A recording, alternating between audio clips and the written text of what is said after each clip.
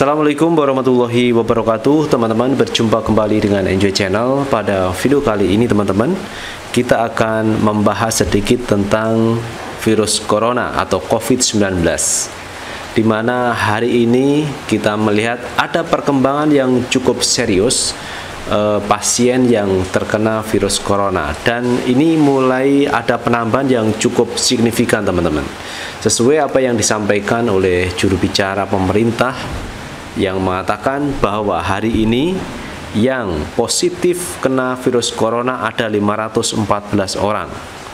Ini angka yang cukup luar biasa, saya pikir lonjakannya yang begitu drastis. Karena itu memang e, harus hati-hati mengenai virus ini dan semua orang harus mengikuti aturan-aturan yang telah ditetapkan pemerintah juga aturan atau himbauan yang disampaikan oleh Majelis Ulama Indonesia di mana pemerintah mengatakan hari-hari ini kita harus menjaga jarak. Jadi jarak kalau kita bertemu orang ini dijaga antara satu meter. Jadi ini memang sesuatu yang penting untuk dilakukan setiap warga negara agar kita bisa memutus mata rantai terkait virus corona ini. Kemudian yang kedua, himbauan dan pesan dari pemerintah agar kita semua kalau tidak punya kepentingan jangan sampai keluar dari rumah. Jadi di rumah aja. Ini ada tagar dari pemerintah di rumah aja. Kenapa begitu?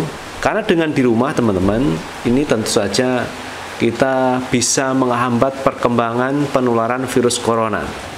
Jadi kalau seseorang kena virus corona dia tidak berhubungan dengan orang lain, maka otomatis dia tidak bisa e, menularkan virusnya itu ke orang lain. Jadi di situ ada e, pemutusan mata rantai terkait virus corona. Jadi di rumah saja itu penting. Memang di rumah itu menjemukan teman-teman. E, di rumah itu membosankan. Tetapi bagi teman-teman yang punya kegiatan di rumah, tentu saja ini enjoy-enjoy saja terutama para youtuber itu malah enjoy kalau di rumah karena dengan di rumah dia bisa membuat konten kreator yang efektif, efisien dan itu bisa dilakukan. Kemudian ibu-ibu yang biasa membuat jajanan kue ini juga bisa melakukan kegiatan di rumah dan lain-lain. Artinya untuk mengusir kebosanan ini kita bisa lakukan e, banyak hal, misalkan bersih-bersih rumah, kemudian cuci motor, cuci mobil, dan lain-lain. Ini juga hal-hal yang bisa mengurangi kebosanan di rumah. Itu teman-teman eh, terkait eh, cara mengatasi atau menghambat terjadinya penyebaran virus corona. Menjaga jarak, kemudian di rumah aja. Sesuai apa yang disampaikan kemarin oleh Pak Anies Baswedan, kalau Anda ingin jadi pahlawan, hari ini saatnya. Caranya Anda di rumah saja. Kenapa begitu? Karena sudah banyak korban teman-teman. Sudah banyak pasien yang dirawat di rumah sakit.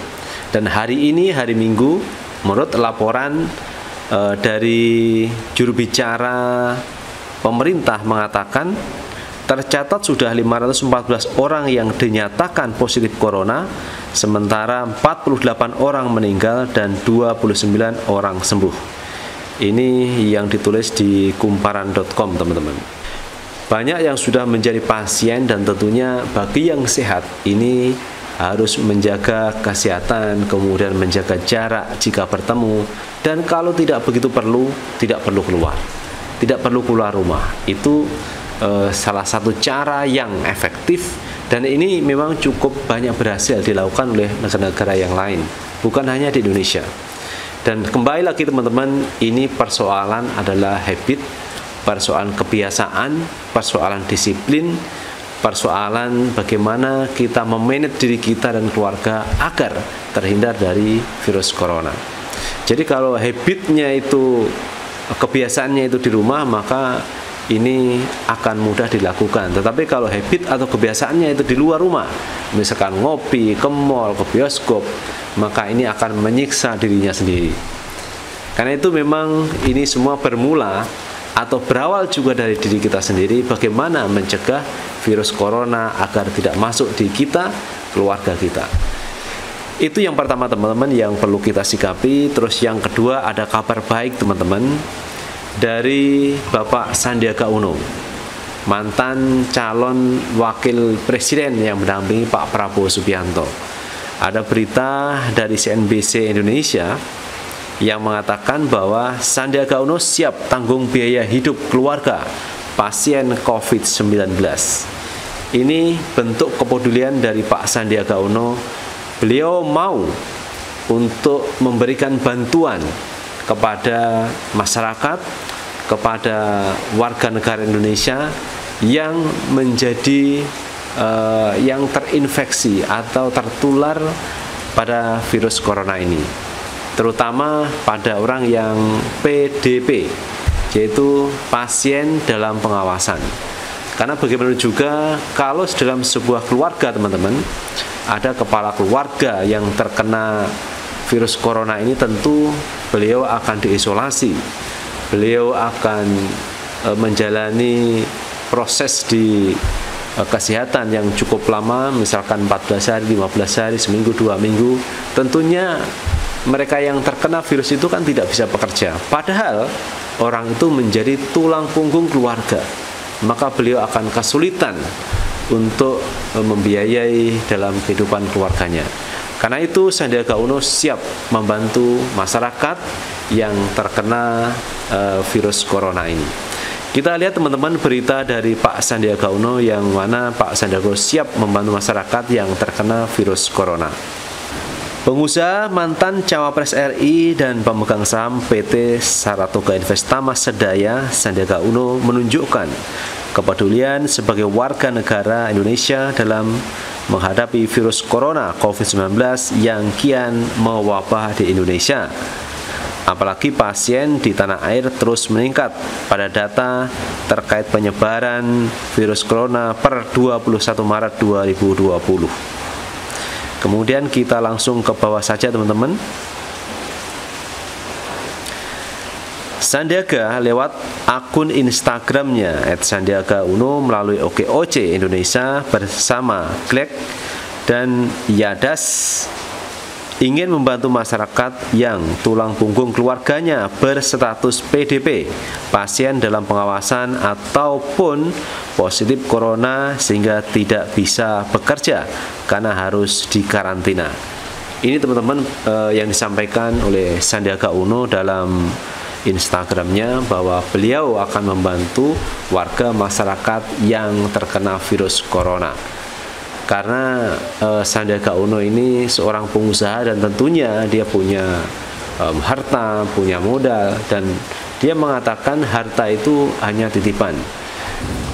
Kemudian kita lanjutkan teman-teman pernyataan dari Pak Sandiaga Uno yang mengatakan sebagai wujud empati dan kontribusi kami sebagai warga negara Republik Indonesia yang sedang diuji oleh wabah virus COVID-19 bagi teman-teman yang anggota keluarganya berstatus PDP atau positif corona silahkan menghubungi kami.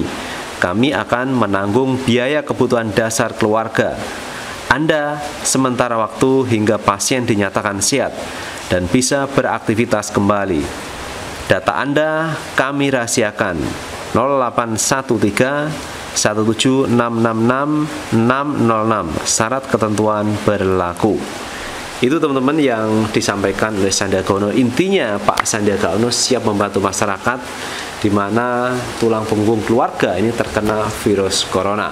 Dan beliau sudah mencantumkan nomor telepon teman-teman yang bisa diakses oleh masyarakat Indonesia.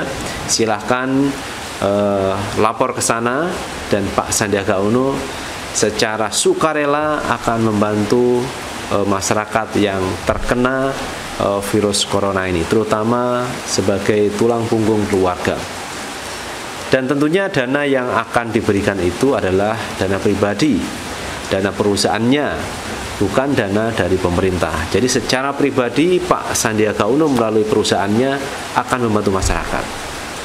Nah, ini adalah merupakan sikap yang luar biasa dari seorang warga negara yang mau memberikan harta sebagiannya itu untuk masyarakat yang terkena dampak virus corona.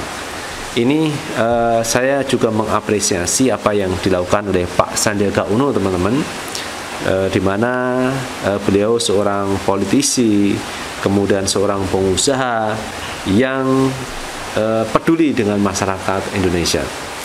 Kemudian Sandiaga Uno saat ini menjadi salah satu pemegang saham perusahaan Indo Group Saratoga yang dibangun bersama Edwin Surya Jaya Tahun lalu, Saratoga Investama membukukan laba bersih 7,3 triliun dari periode yang sama tahun sebelumnya rugi 6,13 triliun.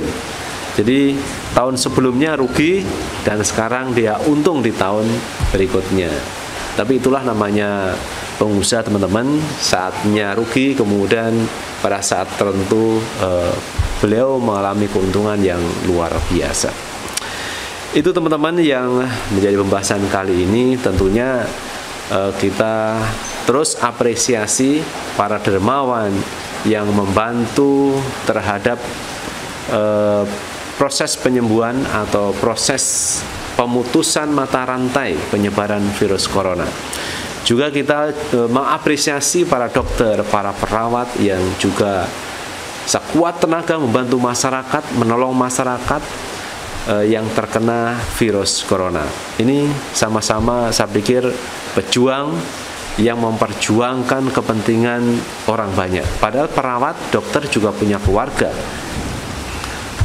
Itu teman-teman yang bisa kita sampaikan hari ini dan sekali lagi teman-teman jangan lupa untuk tetap like, subscribe, share dan komen di channel ini agar kita bisa membantu channel ini menjadi lebih baik lagi. Sukses selalu. Assalamualaikum warahmatullahi wabarakatuh.